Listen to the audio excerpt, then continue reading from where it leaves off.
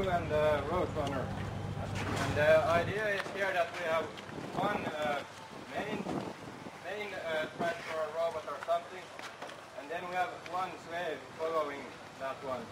So this could, for instance, be a harvester, and this some kind of a trailer where you can dump the the, the grain or whatever you are harvesting. And uh, the idea is that this one only follows that one. Both are running autonomously. Uh, no. Ah,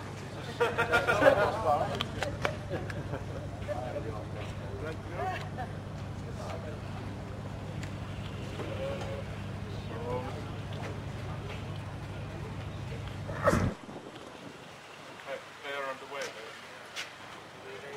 It doesn't matter. I, can you move a bit?